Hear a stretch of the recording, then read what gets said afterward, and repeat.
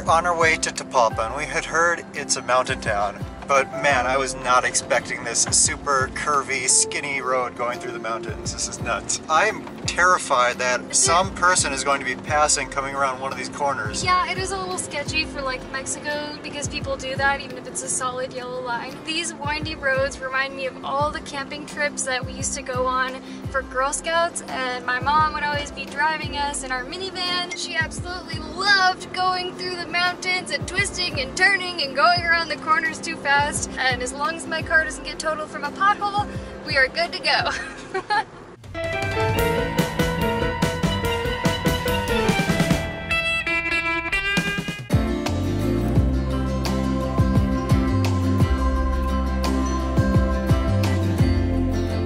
We are in Tapalpa, the highly recommended city it's been recommended to us so many times. Honestly, I've been dying to go to Tapalpa, a Pueblo Mágico, since about the time that we got to Guadalajara because so many people were telling us to go here. So far, we went to a restaurant and what happened when we were in this restaurant? Well, the last city we were in was Playa del Carmen. We came here and we both ordered an entree, both ordered a margarita, both ordered cafe de olla, and then shared a dessert for about the price of one entree in, in Playa del Carmen. Okay, so this is rompope. The first time I tried this was in the Guadalajara airport, adding it to my coffee because I wanted like some sweet flavoring to it. And people thought that was weird. I didn't know it was like Mexican eggnog at the time. This is also rompope, and it definitely tastes like alcoholic eggnog. That's what the airport did not. It just tastes like prawn syrup. this, on the other hand, the pan de elote. What's pan de elote for those that don't speak Spanish? cornbread, but it's not like cornbread that you probably know of. This is like bread of the angels, made of like unicorn magic and ah. so you might say that we got a little carried away, but being in a city that is so reasonably priced and gorgeous, absolutely gorgeous, these whitewashed buildings and wooden detailing, come up with a better description for you. Very first impressions of Tapalpa. Go. Um, I absolutely love it here. It's has this nice calm energy. I really do like the white building type deal and it's kind of like mountainous. It reminds me of another favorite Pueblo Mágicos of ours, Mazamitla. How about you? Right away, it seems like a very popular tourist town for Mexicans, but it seems yes. like they don't see gringos here very often because we are getting a lot of looks. we are dying to explore Tapalpa more, but today has been a pretty hectic and long day. This was the... What are you doing? Nothing. This was the pack up the whole house, pack up the car, and move it on out. So we will see you in the morning in Tapalpa.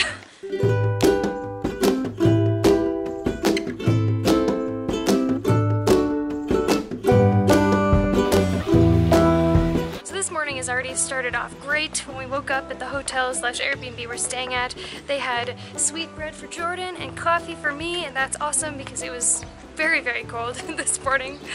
And we got a little bit of breakfast. It was ridiculously affordable at 107 pesos. Yep, and that included two breakfasts, coffee for both of us. Now we are off exploring Tapalpa.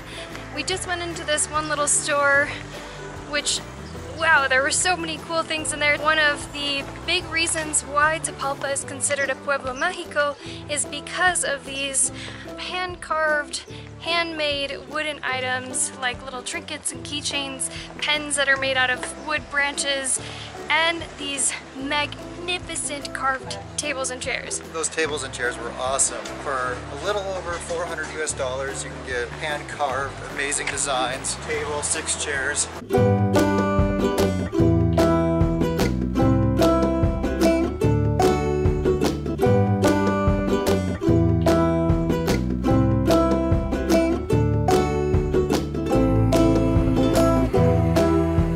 There's a bunch of stray but really nice dogs around. We of course had to go to a little tienda, tiendita, and get some uh, comida para perros, and we already found, found a taker. Well, one found us. One found us, yes. You smelled this from a mile away, huh? What else did you get at the little tienda? Oh, at this other store with Artesanias, I found this wooden ring, handmade wooden ring. And Ajijic, one of these, was selling at the Tuesday market for 80 pesos. This was 12 pesos, so as you can see, I could not pass that up. We're finding this town to be very affordable. Less than some of the least expensive cities we've been to. Did you find another taker? I found another one.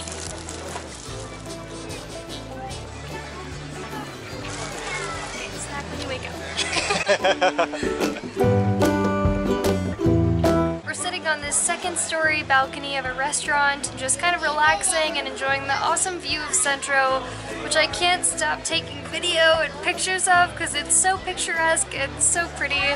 So far, I'm seriously thinking, why haven't we visited this place sooner. I love every little feature about it, from the buildings to the people to the friendly street dogs, the prices, everything. I don't have a single complaint. What do you think, Jordan? There's tons of cool little shops walking down the streets, lots of locally made artisanias and Especially craft. made out of wood. Yeah, lots of wood stuff, which I'm a huge fan of. I'm really excited to see the nature around here. There's Yes. these giant rocks, which doesn't sound too exciting. But aliens put them there, so that makes it a little bit more interesting. And there- Okay, maybe not. there's a gigantic waterfall nearby.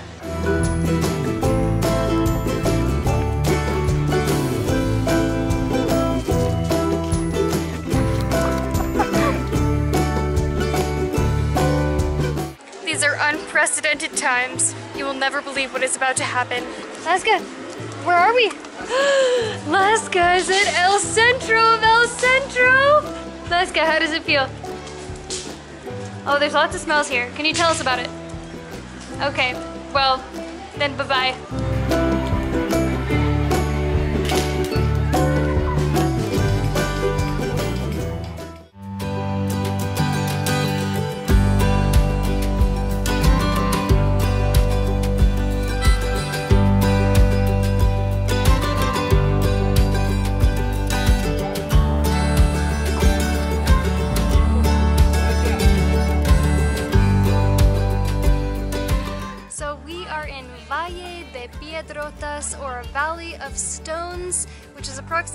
Valley of Big Stones. big stones, very big stones. It's about 15 to 20 minutes away from Tapalpa, considered the main attraction of Tapalpa. Back in Phoenix, we did this hike all the time. It was our favorite hike there. It was the mountain was Tom's Thumb. In And- Scottsdale. Yeah, you got to the top and it had all these giant rocks. And so far, this reminds me a lot of the top of that mountain. with less desert, more lush mountains and meadows. So to get in here, it's free or whatever you want to donate. I mean, the views here are pretty spectacular looking down at all the trees and the forest, and these sure are gigantic stones.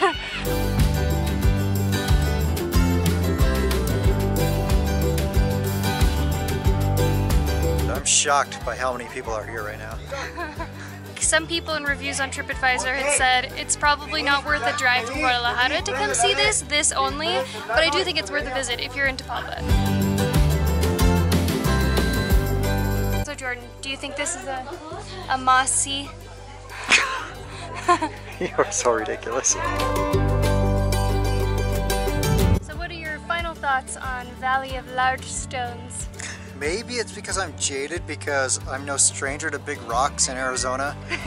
but to be honest, I think this is just a bunch of big rocks.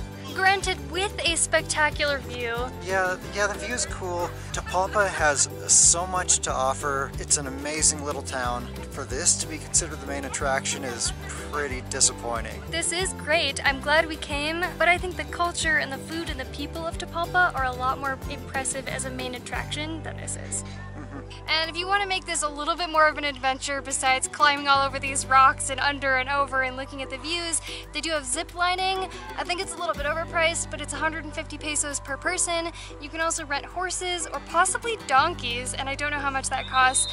And also they sell like micheladas and tequila and snacks and corn and I mean elote.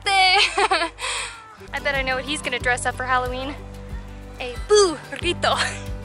Please don't drop my drop. He likes you.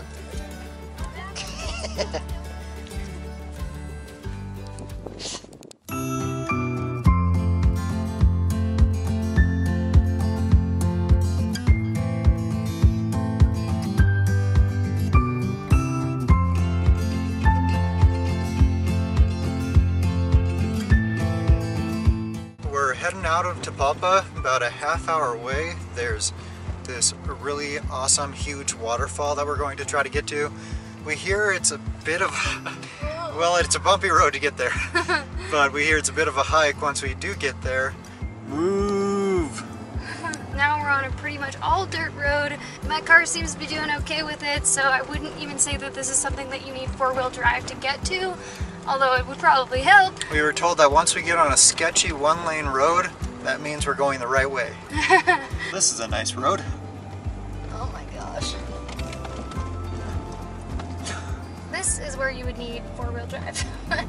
Right, so we're pretty much right at the start of the trail. We parked our car at the end of this sketchy, bumpy road. Which I told you, my car was doing okay, don't need four-wheel drive.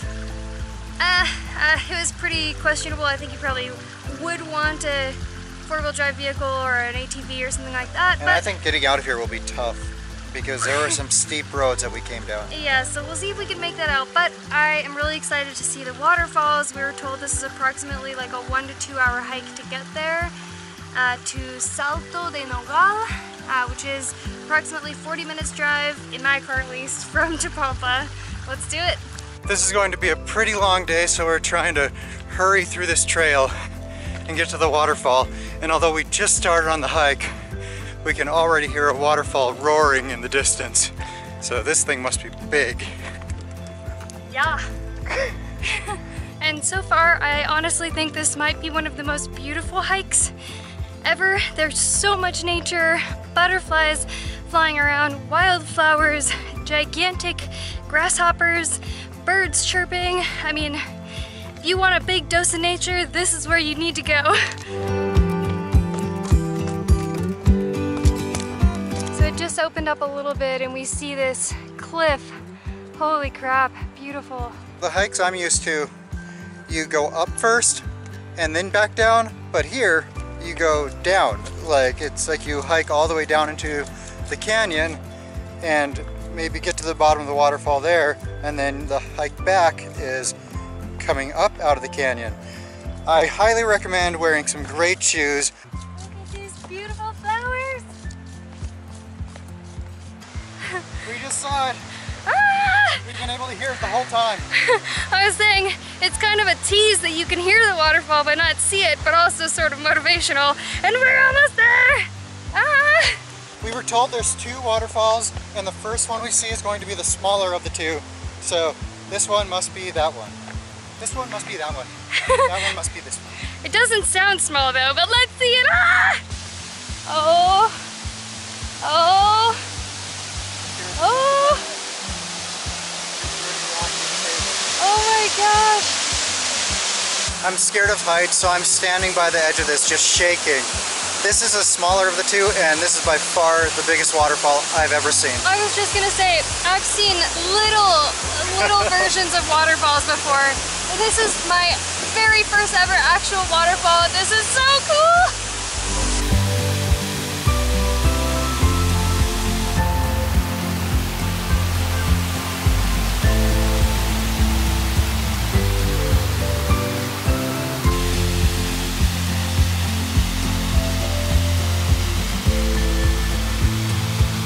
A friend told us this was going to be a two-hour hike to get down here, but we weren't timing it. If I had to guess, it only took us about 20 minutes. Maybe 30 minutes. We were going as fast as we could. I'm still convinced that there's going to be another bigger waterfall. We met some people down here and they said this was the biggest.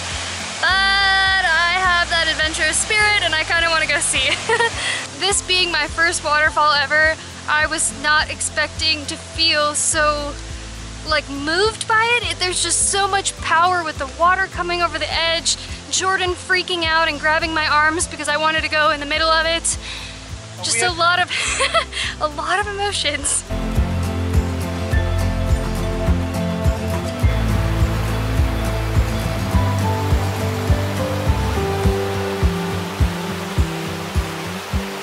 We were starting to lose hope because we didn't hear anything as big as the roar as the last waterfall, but My heart's pounding so fast right now.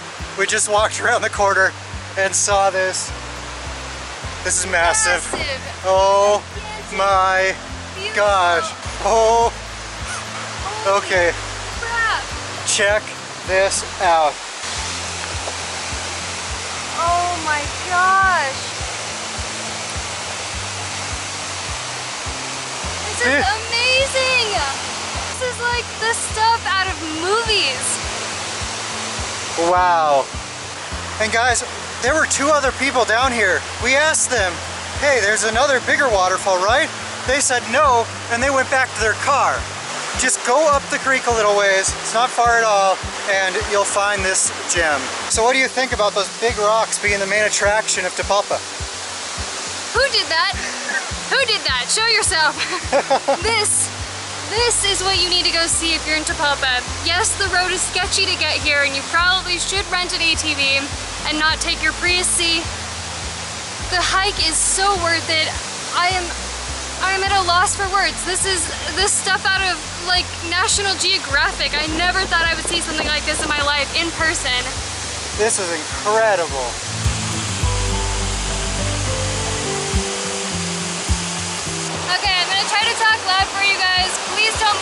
Mind my lack of shirt. It's pretty hot and it feels so good with the mist of this waterfall, but I cannot get over just how incredible this is. It's it's huge. I ah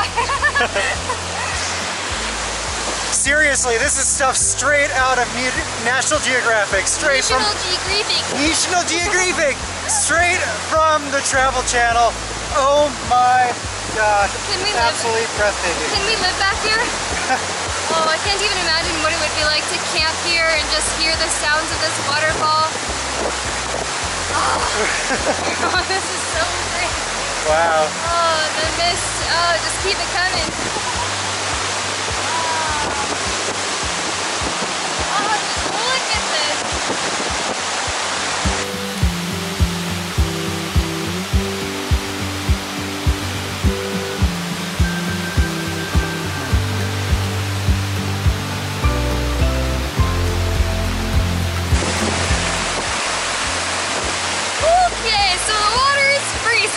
Want to jump in? This might be cooler water than the cenotes.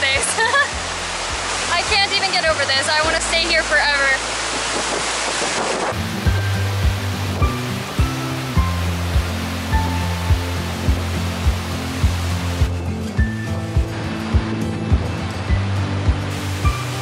We saw some rain clouds, and since we had some sketchy roads on the way in, and we have to go up some steep hills on the drive out, we're booking it to the car right now. but man, this was so amazing. Guys, I know a lot of you who live in the Lake Chapala area or Guadalajara. If you live in one of those places, you're not that far away from here. This is an absolutely must see. Okay, so one word of caution. The hike back out of here, since of course the hike down there is all the way down, down, down, down the whole way. It's intermediate to hard. We're in shape. We do insanity every week, but we're having to stop quite often. And I do think the altitude plays a huge role in this. Uh-huh. Yeah, we're stopping about every 50 meters to take maybe a 5 or 10 second break. Oh man, I totally underestimated this difficulty. Oh,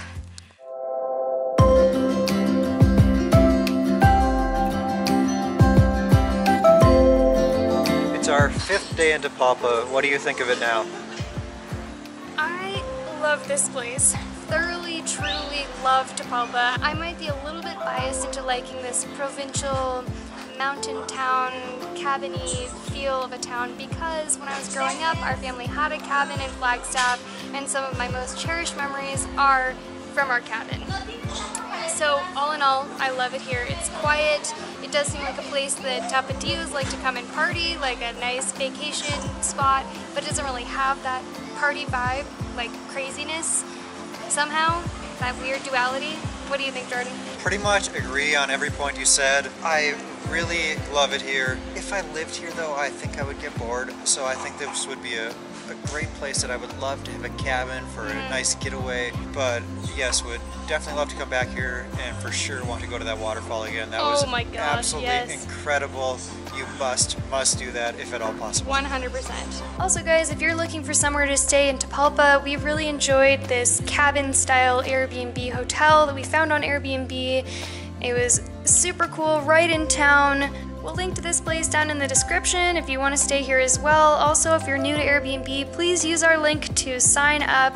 You get a nice $40 credit, and that also gives us a credit, which helps us continue traveling to new places like Tapalpa. Thank you guys so much for watching this video today. If you liked it as much as we did, give it a thumbs up and subscribe to our channel. so you can see more videos that we're putting out about our travels in the world, specifically Mexico right now. And one more thing. Gong that bell, so you get notified the next time we put out a new video. And we'll see you there.